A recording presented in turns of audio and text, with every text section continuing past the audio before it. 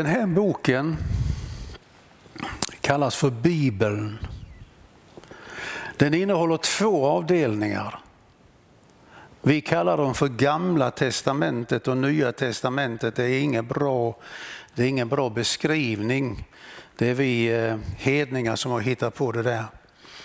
Men den består av böcker som är skrivna före Jesu födelse och böcker som är skrivna efter Jesu födelse. Den eh, första Moseboken, alltså Bibelns första bok, den börjar med att Gud sa och det blev. Det blev som Gud sa. Nya testamentet börjar Johannesevangeliet. I begynnelsen var ordet. Ordet var hos Gud och ordet var Gud. Gamla testamentet avslutar med en, eh, en eh, profetavdelning som börjar med Jesaja, Jeremia, Hesekiel och så vidare fram till och med Malaki. Och det är inte jag som gör den indelningen utan det är faktiskt Jesus själv. När han var och gick med Emmausvandrarna, då står det att han gick igenom allt som var skrivet om honom i lagen, det är de fem Moseböckerna, i skrifterna, det är från Josua fram till Jesaja, och i profeterna från Jesaja till och med Malaki. Eh, så Gamla testamentet avslutar med en lång serie skrifter som är profetiska och Nya testamentet slutar nästan likadant i Uppenbarelseboken, det är det vi ska stanna inför här ikväll en liten stund. I det sista kapitlet så, så säger Herren tre gånger Se, jag kommer snart. Jag ska läsa ifrån det 22 kapitlet i Jesu namn, från den eh, eh, sjunde versen. Då säger Herren, se, jag kommer snart. Salig är den som håller fast vid profetians ord i denna bok. Jag, Johannes, är den som har hört och sett detta. Och när jag har hört och sett det följer jag ned för att tillbedja framför fötterna på ängeln som hade visat detta för mig. Men han sa till mig, gör inte så. Jag är bara en medtjänare till dig och dina bröder profeterna och till dem som håller fast vid orden i denna bok. Gud skall du tillbe. Och han sa till mig, försegla inte profetians bok i denna bok. Profetians ord i denna bok. För tiden är nära. Den orättfärdige ska fortsätta att göra orätt. Den orene fortsätter att orena sig och den rättfärdige ska fortsätta att göra det rätta och den helige fortsätta att helga sig. Se, jag kommer snart och jag har med mig min lön för att ge åt var och en efter hans gärningar. Jag är A och O, den första och den siste, begynnelsen och änden. Salig är de som tvättar sina kläder så att de får rätt till livets träd och får komma in genom portarna till staden. Men utanför är hundarna och eh, okultisterna, de sexuellt omoraliska, mördarna, avgudadyrkarna och alla som älskar lögnen och ägnar sig åt den. Jag, Jesus, jag har sänt min ängel för att vittna om detta för er i församlingarna. Jag är Davids rotskott och ättlingen, den klara morgonstjärnan. Och anden och bruden säger kom. Och den som hör det säger kom. Och den som törstar skall komma och den som vill ska fritt få ta emot livets vatten.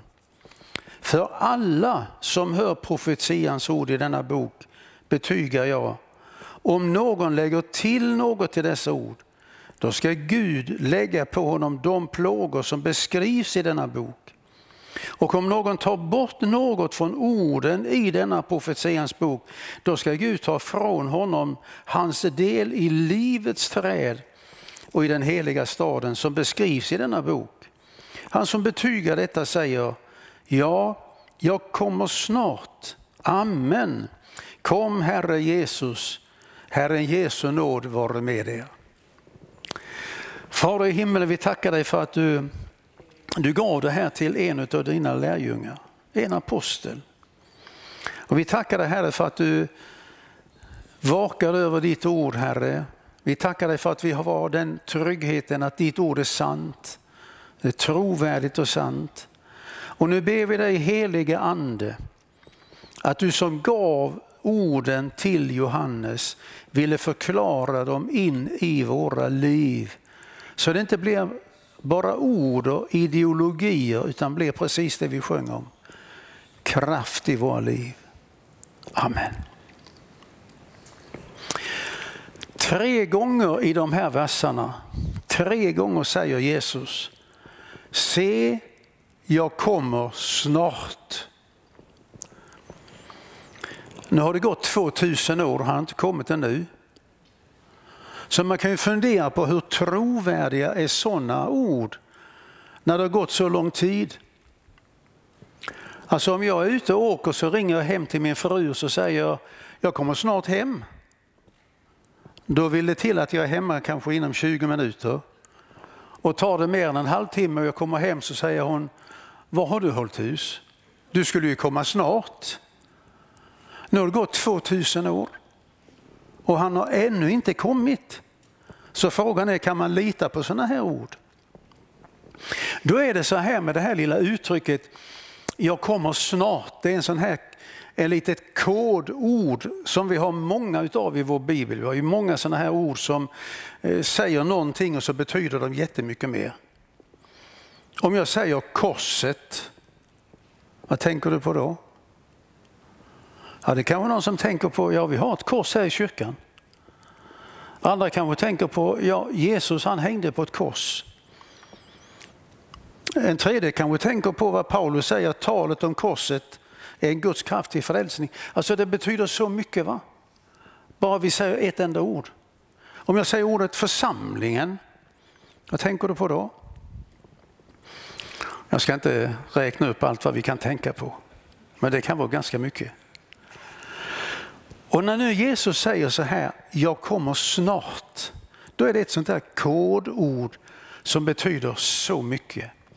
Det betyder egentligen fritt översatt, om vi skulle översätta det till svenska som det står, att hans återkomst, alltså när Jesus kommer tillbaka, så är det profetiska skeendet inträffar med stor kraft och under kort tid.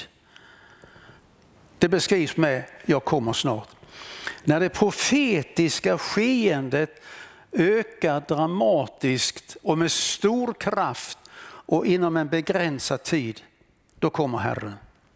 Och det är därför som vi har det profetiska i vår bibel, inte sant? Det mesta som vi har i vår bibel, det är det profetiska som talar om vad som ska äga rum i samband med att Jesus Messias kommer. Så att eh, ordet snart i Bibeln det är inte riktigt detsamma som när jag säger till min fru jag kommer snart hem. För då har jag kanske 20 minuter på mig för att inte bryta förhoppningen eller löftet eller vad det nu är. Det är det profetiska skeendet som äger rum. Och därför tänkte jag ta med dig på en liten sån här profetisk resa och se vad är, det som, vad är det som äger rum för någonting. Och då kan man säga så här, att under de första tusen åren, alltså från Jesu födelse tusen år framåt, så skedde det inte mycket av profetisk uppfyllelse. Från år 1000 till år 2000 så hände det heller inte mycket av profetisk uppfyllelse. Från år 2000 fram till 2000, eh, 2018, eller 8 kan vi säga, från 2008, då hände det inte heller mycket. Men 2008, då började det att hända saker och ting och sen har det gått med en väldig hastighet. Och då, då har vi inte många år, det är alltså, vi talar om 12-13 år. Och då tänkte jag ta med dig bara på, du ska få se vad som har ägt rum. Och då går vi till den första utav profetböckerna. Det är alltså profeten Jesaja. Det här är skrivet för 2700 år sedan, så det har stått länge i vår bibel. Och det har stått och, liksom och, och, och väntat på att eh, det ska sättas igång. Eh, jag ska inte läsa hela kapitlet, jag bara läser som det, några verser i början. Så här säger Herren, Jesajas andra kapitel. Det skall ske i den yttersta tiden, säger Herren. Därmed har han ju sagt att det kan ju inte ske riktigt när som helst. Det kan ju inte ha skett på Jesajas tid för det var inte den yttersta tiden. Och det kunde inte heller ske när Jesus gick omkring i Jerusalem för det var inte den yttersta tiden. Det ska ske den yttersta tiden att berget där Herrens hus ska stå fast grundat och vara högst bland bergen. Och vilket berg är det nu som, som man anser vara det högsta och där Herrens hus ska stå? Och det är det berg som vi kallar idag för Tempelberget i Jerusalem. Där har det stått ett Herrens hus förr i tiden. Det var ju faktiskt där som Salomo byggde det första templet. Men så revs det på grund av att han vände Gud ryggen. Och när man kommer tillbaka från den babyloniska fångenskapen så bygger man ett ganska enkelt, eh, oansenligt Herrens hus som hette Serubabels tempel. Men sen kom då eh, romarmakten och Herodes lät då utvidga det här templet ganska pompöst måste jag säga. Entrén till exempel. Ni har ju en väldigt tjusig entré här, det kan inte vara så särskilt gammalt. Fast någon har försökt att bryta sig in. Men entrén till templet på, eh, på eh, Jesu tid, den var 50 meter hög. Så det är ju betydligt högre än det här. Men det var inte den yttersta tiden. Och därför ska du ha ögonen på vad det är som händer liksom när det gäller Eh, tankarna om att bygga ett tempel i Jerusalem. Och då finns det i Jerusalem idag, från 2008, så finns det två stycken organisationer i Jerusalem som bara har en enda fråga på agendan och det är att bygga nästa tempel. En av organisationerna heter Tempelinstitutets vänner. Hur många har varit där? Några stycken. Skriv upp det nästa gång du åker till Israel. Du ska åka till Tempelinstitutet. Därför att där får man se hela tanken med nästa tempelbygge.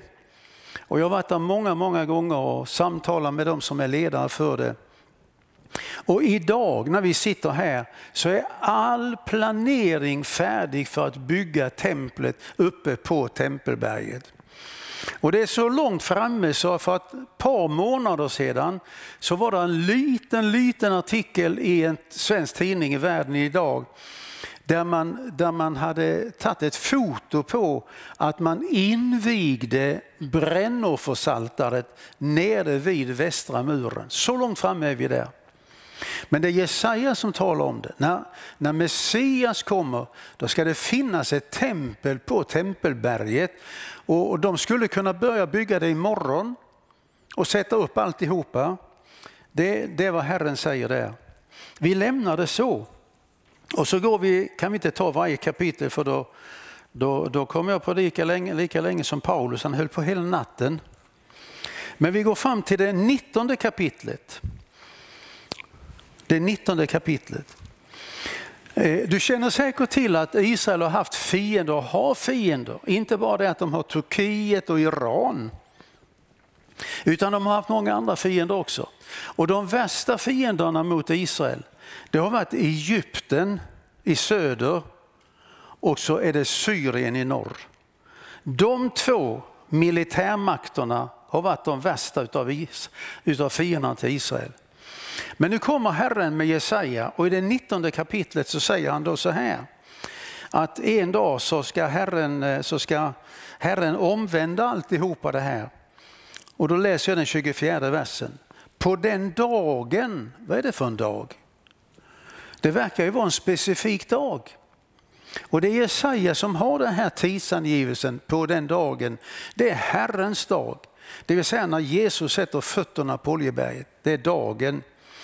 På den dagen då ska Israel vara den tredje vid sidan av Egypten och Assyrien en välsignelse mitt på jorden och Herren Sebaot ska välsigna dem och säga Välsignad är Egyptien mitt folk, Assyrien mina händers verk och Israel min arvedel.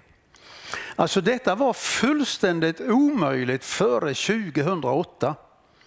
Då skulle Egypten kväsa allting som hade med det judiska folket att göra. Men så händer det någonting. Ganska plötsligt faktiskt. Och Israel får en fred med Egypten. Och samtidigt som Israel får fred med Egyptien, då ska det hända någonting med det egyptiska folket. Jag ska läsa för dig i den 22 versen, så säger Herren, Jesaja 19.22, så ska Herren slå Egyptien, slå, men han ska också hela. När de omvänder sig till Herren, då ska han bönhöra dem och hela dem. I ett helt annat sammanhang som jag var kallad till så, så kom det en kvinna efter gudstjänsten till mig. Och jag såg att hon var, hon var inte eh, född i Sverige. Och så började vi samtala och det visade sig att hon var egyptiska. Hon kommer från Egypten. Och så sa hon, vet du om att Egyptien har en dag som de kallar för den stora omvändelsens dag. Har aldrig hört talas om det. Inte i den termen. Jo, sa hon, den ägde rum den 11 november 2011. Vad hände då?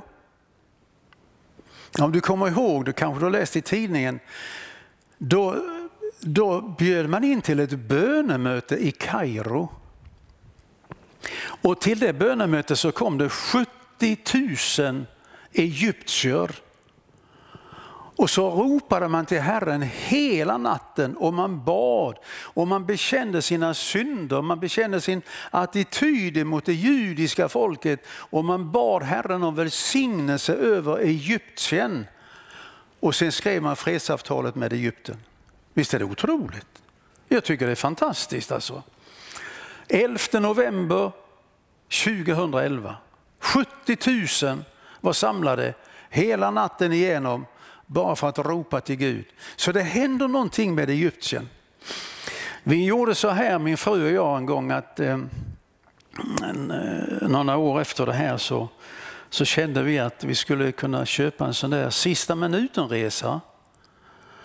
Så vi gick in och tittade på det och förstår du, de hade en, två platser på en sista minuten-resa till Egyptien, till Hurghada.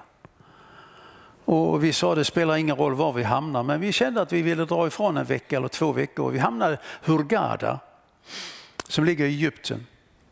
En dag så var vi ute och gick och så gick vi in i en affär. Och när jag kommer in i den affären så ser jag att på, på eh, disken så ligger det en bok. Och jag inser ganska fort att det är en bibel. Så när jag träffar affärsinnehavaren så så kan man ju inte vara tyst. Så jag sa, du sa, är det en bibel du har på disken i affären? Ja, sa han, det är det. Läser du i den? Läser, sa han. Så fort vi får fem minuter över, då sätter jag mig och läser Bibeln. Och då blev jag ju lite, lite jag, jag blev glad. Så jag sa, det var ju fantastiskt, sa jag, det gör ju jag med. Så sa han, var kommer ni ifrån? Jag sa, vi kommer från Sverige och vi är kristna från Sverige. Och så tittar han på mig och så säger han så här, tillåt mig att betvivla att du är en kristen. Och jag tänkte, kan inte du säga? Men så kommer förklaringen. Ni har ju slutat att läsa Bibeln. Har vi tio minuter så läser vi Bibeln. Men har en svensk tio minuter över så är det antingen telefonen eller veckotidningen eller Jönköpingsposten eller något annat skräp man håller på att läsa. Vi läser Bibeln. Så, så är det mycket, många kristna här i Hurghada. Ja, så en församlingen består av 50 procent av invånarna med i församlingen. 50 procent vet du. Så någonting håller på att hända i Egyptien vi säger inte att allt vad de nu gör är bra. De har haft väldiga problem och de har med, med brödraskap och så, vidare och så vidare. Men Gud gör någonting precis så som han har sagt. När de omvänder sig till Herren så ska jag bönhöra dem. Och idag har Israel en fred med Egypten. Men så säger Herren, de ska inte bara ha fred med Egypten, de ska ha fred med Syrien. Alltså ah, Assyrien hette det på gamla testamentets tid. Syrien kallar vi det för idag. Gränserna har ändrats lite grann på grund av krigen, ungefär som de har ändrats upp i Europa. Men, men i stort sett så är, är det Syrien. Och Syrien har ju varit den starkaste fiende som Israel har haft med, med familjen Assad. Det var, det var ju Syrien som anföll 1967 över Golanhöjderna och låg där och sköt och sköt och sköt och sköt. Men eh, Israel lyckades att vrida det här och lyckades också vinna det här kriget. Och den här gamle presidenten Assad, han, han blev sjuk. Han drabbades av cancer.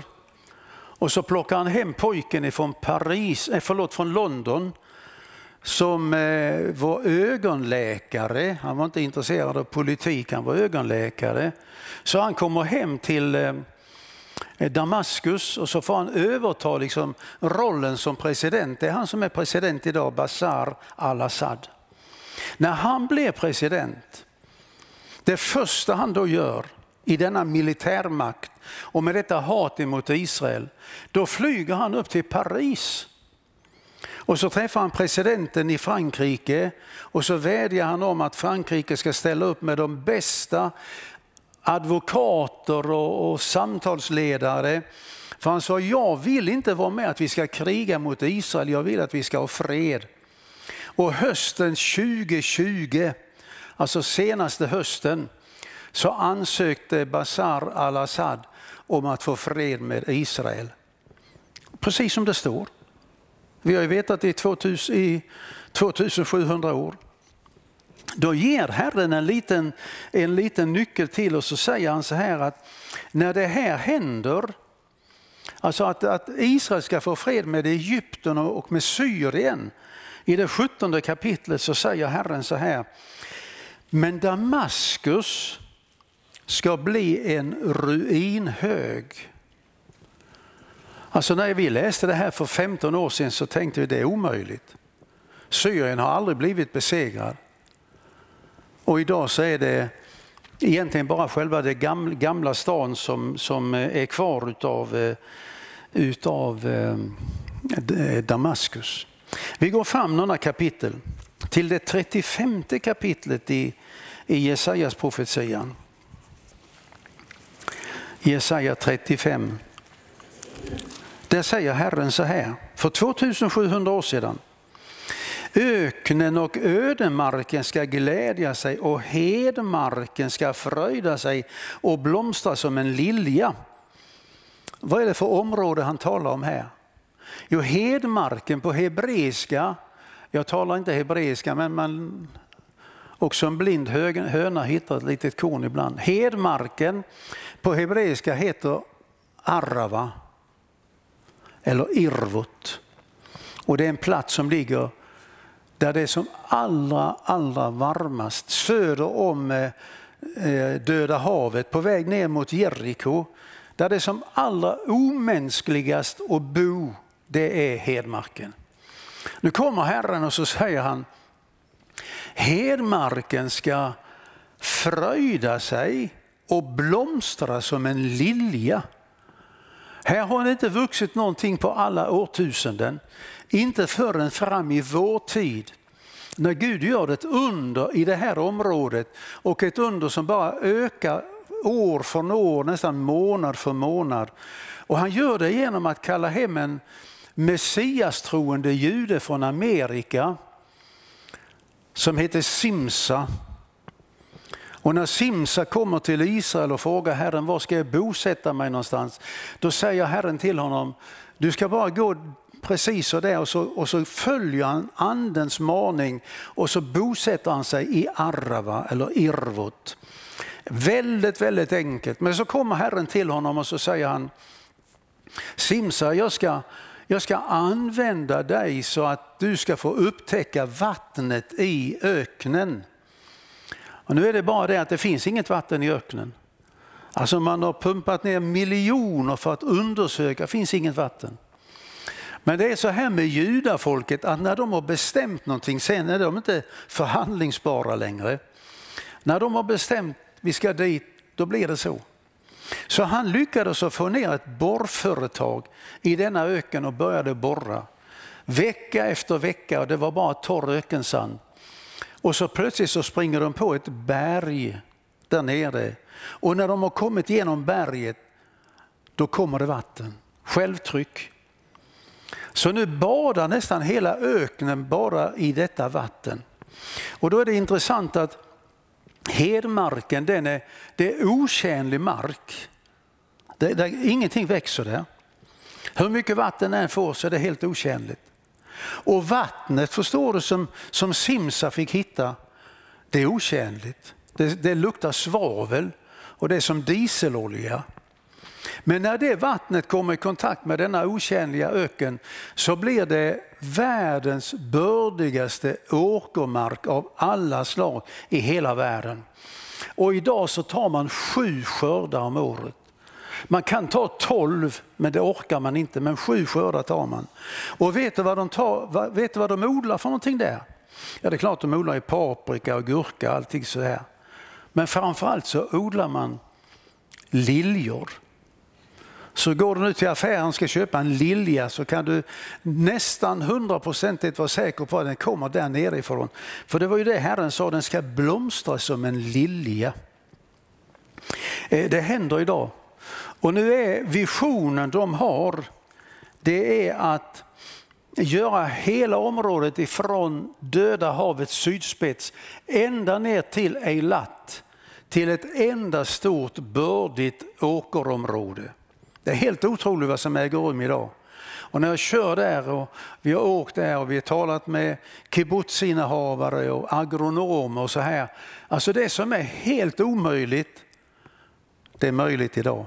Det är en uppfyllelse utav Jesajas 35 kapitel.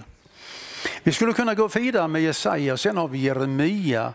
Men vi går fram till, till Hesekiel bara för att koppla ihop det här lite grann ändå. Hesekiel han levde eh, 200 år senare. Eh, det judiska folket hade vänt Gud ryggen. Eh, fienderna stod och ville komma in och beröva det judiska folket stan. Och det som hände var en stor katastrof. Ska vi läsa om det, om jag nu hittar det, Jesaja nionde kapitel.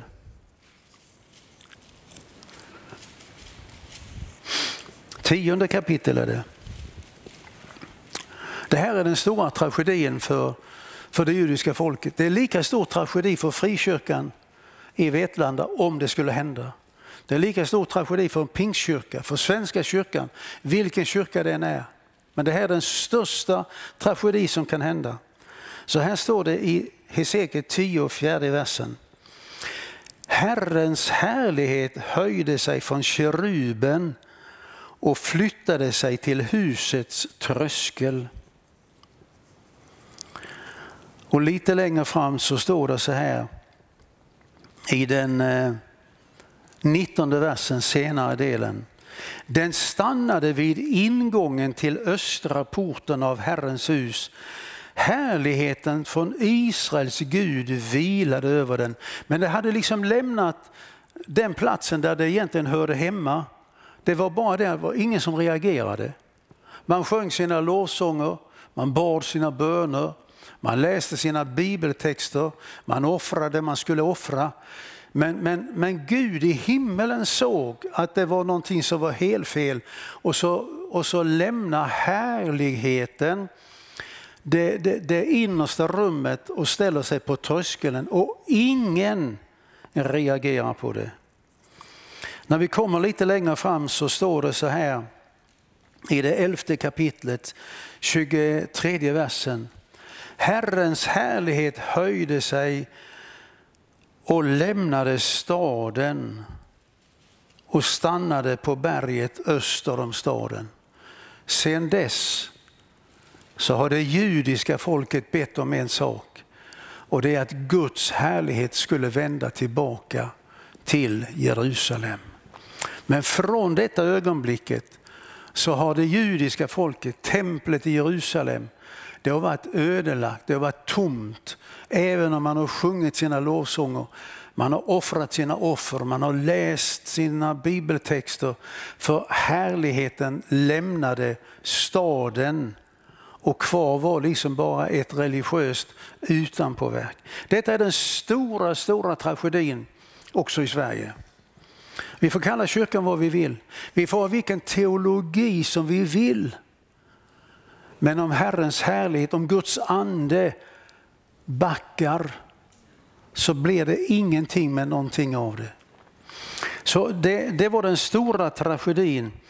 Och, och, det här håller på ända fram till det 36 kapitlet. Och det har vi läst innan. Eh, och det som, det som nu händer det är att det judiska folket också skingras. Det, det är precis som, jag har varit församlingsföreståndare i 50 år så jag har en viss erfarenhet av det. Men jag vet att när det, när, den, när det andliga sjunker i temperatur, förstår ni? Då blir det lätt inbördesspråk. Men när den andliga temperaturen är hög, då är det ingen som skulle komma på att ställa till med någonting. Kan, förstår ni vad jag säger?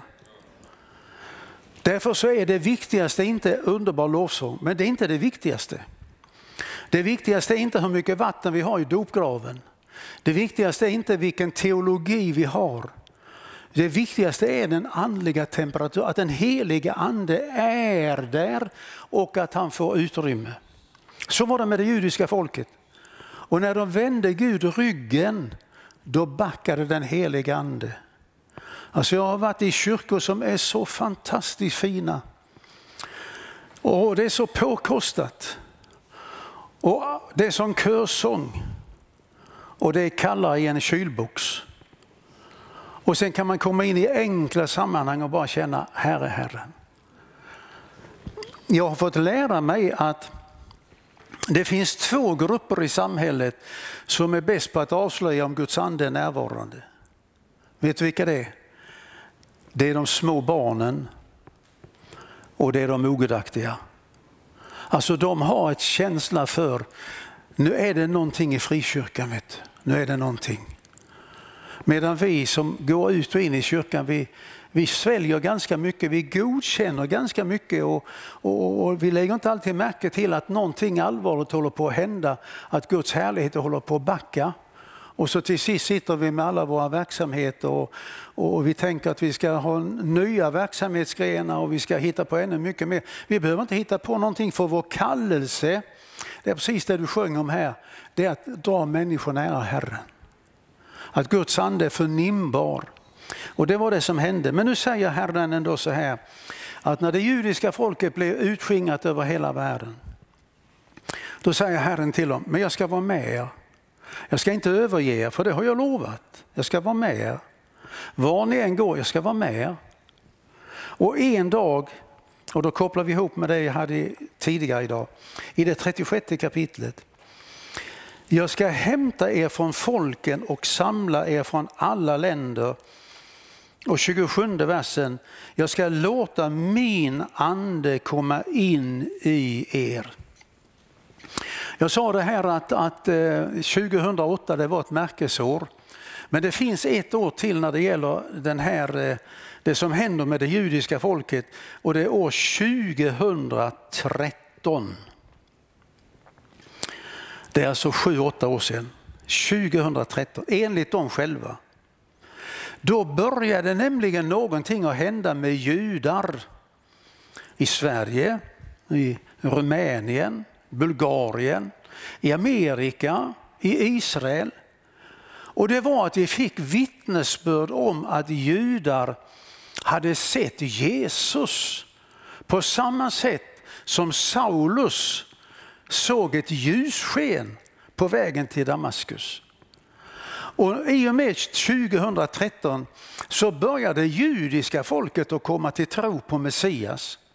Och de kommer nu till tro i sådana mängder så att eh, om inte du har något att göra ikväll så kan du logga in på Himlen TV7, kanal 10 från Älmhult, framförallt de två. De har nämligen ett programpunkt som heter Jag mötte Messias. Och där finns det hundratals vittnesbörd. Judar som har liksom gett sina vittnesbörd. Det är höga akademiker, det är vanligt folk som du och jag. Det är äldre människor, det är yngre människor. Men vittnesbördet är ett och detsamma. En dag så bara mötte jag honom. Jag satt i synagogan och när jag satt i synagogan så bara står han i synagogan. Jag satt i min lastbil och körde och en dag när jag stannade bilen så står han utanför hytten. Och nu räknar man med att från 2013 fram till idag så är det långt över en miljon judar som har gjort den här upplevelsen. För Herren säger, jag ska ta hem er och när jag tar hem er ska jag låta min ande komma in i er. Så det är en av de största väckelser som vi har eh, i vår värld idag. Det är att judar som aldrig någonsin har ägt den helige ande får den helige ande. För det har de ju inte gjort innan. Va? I gamla testamentet så var det bara kungen, profeten och prästen som hade den helige ande. Men idag, och nu skulle jag önska att jag kunde tagit med ner, ner i en, i en tidsmaskin och få vara med på en sån här gudstjänst när de firar gudstjänst. För det är inte som när smålänningar firar gudstjänst. Det kan jag tala om för er. Det, det är något fantastiskt. Alltså, de har mött Jesus. Vet du. Och, och judendomen den är ju precis som, eh, som, eh, kan man säga, som svenska kyrkan, den är, har en hierarki. Så att vanligt, det finns vanliga judar, så finns det ortodoxa judar, så finns det eh, lärare, så finns det rabbiner, så finns det överrabbiner och så, och så längst, längst, längst uppe, liksom på nästan vid sidan av eh, tronen i himlen, så sitter liksom överste överrabbinen. Och han som levde då 2013 när det här liksom började, han hette Kaduri. Rabbinen, överrabbinen Kaduri. Det han sa, det gällde hela Israel. Hans ord det var, man visste liksom att är det någon som talar Guds ord i Israel så är det den som sitter på Faderns högra sida till höger om Jesus. Så ser de det. Och du vet att den här Kadori han fick möta Jesus. Han blev frälst. Så han bjuder hem alla överrabbiner i Jerusalem hem till sitt hem. Och det här, det, du, kan, du kan se det här på en kanal som heter Youtube. När du sett färdigt med Vetlanda så kan du slå in Kaduri. En gammal man, eh, äldre än Leif och jag. Och där vittnar Kaduri och så säger han så här till sina kollegor, rabbinerna. Den Messias vi väntar på, jag vet vad han heter. Han heter Jesus Kristus och han har en gång gått här nere på Jerusalems gator. Det är honom vi väntar på, säger den gamle Kaduri. Du vet, då händer det någonting med de här gubbarna med skägg och hattar och allt vad de har. Vet du. Och, och, och de kommer till tro på Jesus. Om Kaduri har varit med om det här, då vill vi också vara med om det. Va? Så det, det händer så mycket av profetisk uppfyllelse, framförallt när det gäller eh, profeten Hesekiel idag. Och vi bara tackar Gud för det. Vi är så tacksamma att vi förstår vid sidan av, jag måste bara få berätta en liten rolig sak. Jag har en tablettask här i min hand, i min, det är inte så många kvar i den men den här har jag fått av en, en stor företagsledare i Småland. Skulle få en avskedspresent så fick jag den här. Och det är inte dåligt. Men du vet den här företagsledaren, jag tror aldrig han har varit i en kyrka. Han har aldrig bekänt sig som en kristen. Han är över 80 år gammal. Men så berättar han att en dag när han går på sitt företag så hör han en röst. Det var mitt i pandemin så hör han en röst som säger du ska köpa flygaktier. Du förstår, det fanns inte ett flygplan som var i luften. De stod ju på backen allihopa. Men han tänkte det var ju märkligt. En röst som säger jag ska köpa flygaktier. Så den här mannen som inte har någon kristen bakgrund eller på något sätt, han ringer till sin mäklare på banken och så säger han köp flygaktier. Han köpte för många hundratusentals kronor köpte han flygaktier. De kostar ju bara några öre. Det går två dagar så hör han rösten igen. Och då säger rösten så här. Sälj alla dina flygaktier. Sälj alltihopa. Så han, det är han själv som har berättat det. Så han ringer till banken och så får han tag på sin kontaktman där och så säger han sälj av alltihopa. På de två dagarna så hade regeringen gått ut med ett påbud, en lag, där de skulle stimulera flygtrafiken. Och vet du vad som hände? Aktien får rätt upp i taket. Så han köpte när den var nere på golvet och när den är uppe i taket då säljer han alltihopa. Och tjänar en förskräcklig massa pengar. Då hör han rösten för tredje gången. Då säger rösten så här. Du får inte behålla vinsten. Den ska du ge till det judiska folket. Det var bara det att han visste ju knappt vad det var för någonting. Så han ringer till en god vän och så berättar han den här historien och säger vad ska jag göra, vad gör jag? Och, och den gode vännen som han ringde till visste inte eh, hur de skulle lösa det. Så, så hon, ring, hon säger så här, vi får kontakta en som heter KG Larsson. Vi hade ju aldrig setts. Men, men hon ringer och så säger hon, hur löser vi det här? Jag sitter här nu med en jättestor vinst av aktieaffärer som ska gå till det judiska folket. Hur gör vi? Och vi har ju hållit på så länge nu vet du, med, med böckerna och skickar ner vinsten. Tack alla ni som har köpt böcker vet du, och vi skickar ner pengar.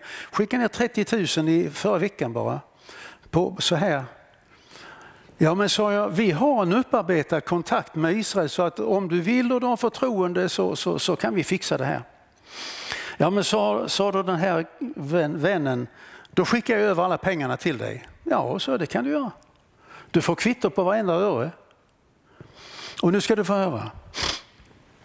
En dag får den här mannen en, en, en, en uppmaning av en röst som man inte vet vem är. Köp flygaktier. Han har dem i två dagar. Sen säljer han alltihopa. Vi säger att det tar, hela transaktionen säger vi tar tre dagar. Sen för han över alla pengarna till den gode vännens bankkonto. Det tar två dagar till, det är fem dagar. Sen för den gode vännen över alla pengarna till ett konto som jag har. Det är två dagar till, det är sju dagar. Sen måste jag föra över alla pengarna till ett konto som är kopplat till Israel. Det är ytterligare två dagar. Då är det nio dagar. Och sen innan pengarna är nere i Israel så tar vi säg, en dag till tio dagar kort räknat. Så på den tionde dagen så ringer jag ner till Jerusalem till den kontakten som vi har där nere och så säger jag att nu har du, nu har du mycket pengar på kontot. Vi har skickat ner alltihopa vi kan. Det går ett par, tre timmar så ringer han till mig och håller på att komma genom luren. vet du. Så sa han, vet du vad som har hänt? Nej, så det vet jag inte. Jag vet att vi, vår församling, vi har ju en församling i Jerusalem och så har vi en i, i Beersheva. Och det är ner till Beersheva som alla judar kommer som kommer från Rumänien. De har ju fått lämna, de har ju ingenting. De har skjortan på kroppen, sen har de inte mer. Men där står en liten messiansk församling och ger dem mat, eh, lite kläder, försöker ordna husrum. Nu hade de tömt alla pengar, de hade inte ett öre att köpa någonting för. Så då utlyste de ett bönemöte, ett bönemöte nere i öknen och de ropar till Gud om ett mirakel, ett under att Herren skulle förse dem med pengar så de kan köpa mat till de hungriga och ordna med bostad och de, de, de fattar ingenting av det. Och mitt i bönemöten så nu är pengarna på kontot. Förstår du, hur, hur kan han alltså ha en sån timing vet du? Så när jag berättade det här för honom så fattar du, Du hör en röst och köpa det sämsta människor kan köpa, flygaktier. Och du tjänar så fruktansvärt mycket pengar på det. Ja, då säger han så här, Kågesson, det, det är konstigt att jag skulle behöva bli 80 år för att förstå detta med Jesus. Att jag skulle behöva bli 80 år för att förstå detta med Jesus. Nu är han hemma hos Herren, dog förra veckan. Men Gud använder honom. Jag tycker det är fantastiskt. Jag tycker det är så roligt att gå med Gud. Vet du. Det är så spännande. Vet du. Så det är... Men det är vad Herren säger, när jag, när jag tar hem er, då är jag er försörjare och jag är er frälsare och jag låter min ande komma till er och ta sin boning i er. Det händer idag vet du. Och tänk att jag får lov att leva i den generationen som inte behöver läsa det här och tänka vad i all världen kan det här betyda för någonting?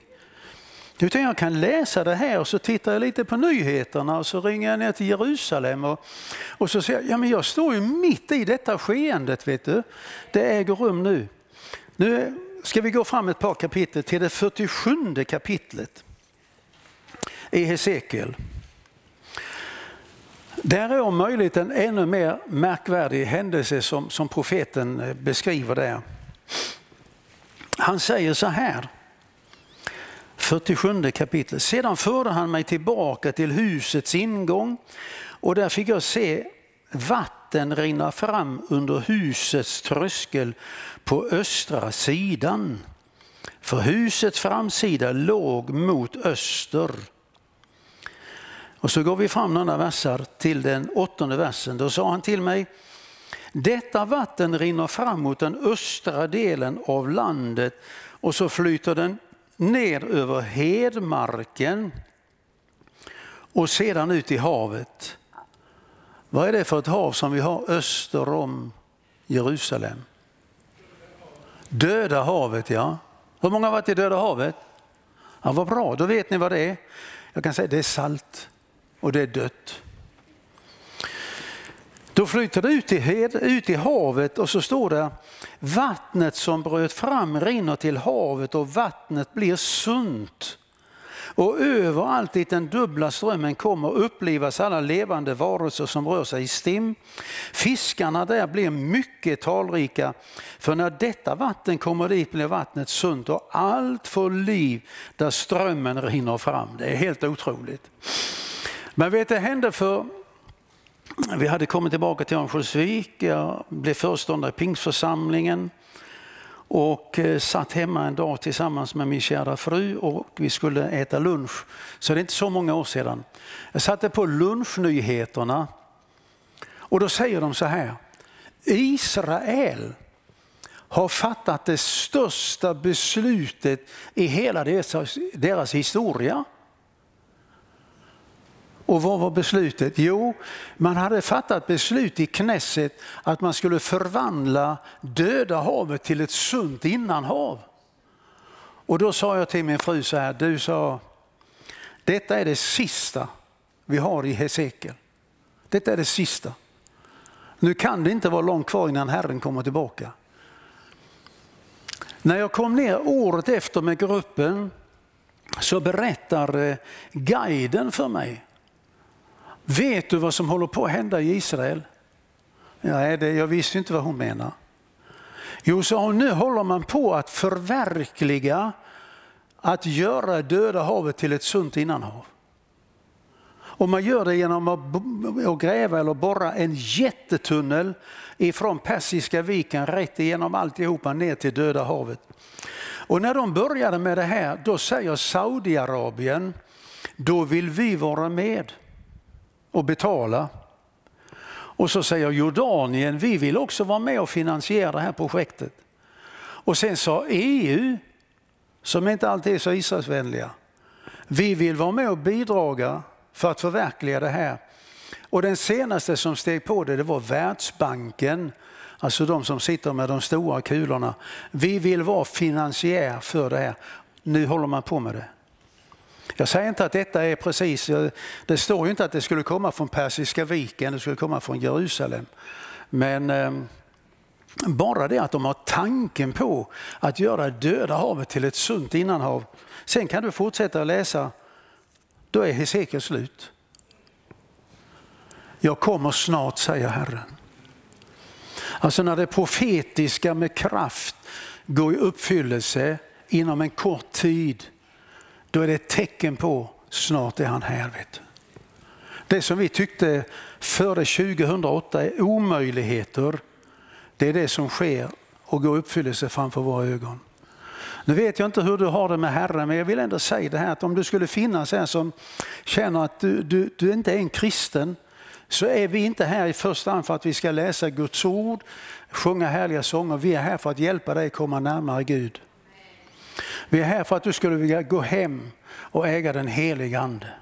Det är därför vi är här. Och därför vill jag inbjuda dig till detta. När min far var ung så var han ingen kristen. Han var en vanlig sekulär svensk. Men hans morbror startade ett möbelföretag nere i Bjärnum. Och de gjorde fantastiskt med möbler och sålde fantastiskt med möbler. Till och med drottningen i England var och köpte möbler av det. Var, det var jättestort. Men så en dag hände det någonting i samhället. Väckelsen kom till Bjärnum. Och vet, det märkliga är att när väckelsen kommer till, en, till ett samhälle då är det fullt. Det bara är så. Så det var fullt i missionshuset. Och min far som aldrig hade gått i kyrka, aldrig läst en bibel, aldrig gått i söndagsskola, aldrig någonting. Han fick höra på fabriken så här att du igår så kom Olle och hans fru, de blev frälsta. Och pappa undrar vad är det för någonting? Och dag efter dag så var det samma sak, liksom att de kom och berättade för pappa att, att nu blev han frälst och så blev hon frälst och, och den familjen blev frälst och så vidare. Och så vidare. Och till sist så kunde pappa inte låta bli utan han gick ju dit och tänkte vad håller de på med? Och missionshuset i Bjärnum det är ungefär som det här och så är det en stor läktare bak i. Och pappa han satte sig längst bak på läktaren, alldeles längst bak. Och så hörde han sånger som du är sjungit. Och bibelundervisning, predikan. Och så slutar man varje kväll med samma sång. Och det var när kören steg upp och så sjöng man då Innanför eller utanför, var ska du stå en gång? Och pappa sa, nu gick han fram och så kom de, gick fram, böjde sina knän och han tänkte vad, vad gör de för någonting? Men vet en dag så blev det för mycket för pappa så han lämnar sin plats där uppe på läktaren. Och så går han gången fram. Och så böjer han sina knän. Och så tar han emot den helige ande. Och så blir han en kristen. Och du vet det här det spred sig på fabriken ju som en löpeld. Och, och, och snacket gick där. Einar, han hette Einar. Han har blivit frälst. Så då kom de till pappa och så, sa, och så kom frågan. Hur ska det gå till när Jesus ska hämta hem sin församling? Det var den frågan som var aktuell. Pappa hade ingen aning om vad det handlade om. Han hade inte läst Bibeln. Han hade inte gått på bibelstudium. Men den helige ande ger honom en bild. Så han sa så här till sin arbetare. På kafferasten så vill jag att ni kommer till min arbetsplats. Allihopa. Så det blev ett stormöte där. Vet du. Och då var det så här att pappas uppgift eh, på möblerna, det var att han, han hade eh, spika, skulle spika fast ornamenten, alltså träsniderier. Och för den sakens skull så hade han ett litet stift som var ungefär två millimeter så han kunde limma och häfta på dem där på, på möblerna. Och sen så var möblerna färdiga. Och så frågade jag då gubbarna, det var nästan bara gubbar, vad, vad vill du för någonting? Och då säger jag pappa förstår du, jag har skrivit om det i en av böckerna. Jag vill tala om hur det ska gå till när Jesus ska ta hem sin församling. Han hade aldrig hört talas om det. Och så tar han alla sina stift och så häller han ut det i sågspånshögen och så rör han om. Alla stift är borta. Och så frågar de pappa, Vad gör du? Jo, sa han, nu ska jag tala om hur det går till.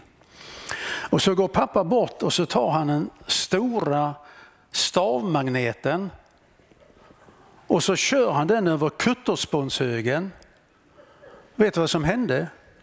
Det bara slurpade till så satt varenda stift satt på magneten. Du förstår, en dag sa pappa då, då kommer Herren att köra magneten över bjärnen. Och då kommer de att lyftas Herren till mötes. Vilka då? Jo, säger Paulus, de som har tagit emot den helige Ande. Då är det inte fråga om vilket dopsyn vi har eller församlingstillhörighet vi har eller någonting annat. Men den som har tagit emot den helige Ande, han kommer att lyftas Herren till möte. Du får ha vilken teologi du vill. Gud han gör precis det han vill. Vet du. Men jag tror på det här. Jag tror på det här. En dag förstår du, då kör han magneten också över Jönköping. Och då kommer vissa lyftas Herren till mötes. I ett odelbart ögonblick. Och jag tror inte vi är långt förrän vi är där. Så därför vill jag, jag ska inte skrämma dig på något sätt, men jag vill säga, finns du här som, som inte har tagit emot den helige Ande, så vill jag inte att du går hem utan det. Jag vill att du ska ta emot det här och få känna liksom att det, det liksom lyfter från golvet. Du får nästan dansande ta dig fram på gatorna och jubla och vara glad. Ska vi be. Jesus, jag tackar dig. Tack för ditt ord, Herre. Jag tackar dig för ditt ord, Herre. Herre, tack för att du är trovärdig, du är sann, Herre. Tack för det du har sagt i ditt ord, Herre. Det vakar du själv över. Och jag tackar dig, Herre, för jag tackar dig för det som händer nu med det judiska folket, Herre. Den väckelse som går fram bland judar över hela världen. Men jag ber dig Herre, låt också vi som inte är utav judisk härkomst, låt oss beröras Herre utav väckelsens eld Herre, utav den heliga Ande Herre. Jag ber dig om detta Herre. Välsigna Herre varje församling som bekänner ditt ord som sant Herre. Och jag ber dig helig Ande att inte du backar som du gjorde i templet i Jerusalem Herre. Att inte du lämnar oss faderlösa Herre. Utan Fader, jag ber dig heligande, Ande, utgjut dig över oss i våra hjärtan Herre. Låt det få vara drycken vi dricker Herre, maten vi äter. Och, och när vi öppnar den heliga skrift Herre så förklarar du den heliga skrift för oss Herre. Välsigna alla Herre som håller ditt ord för sant. I Jesu Kristi namn. Amen.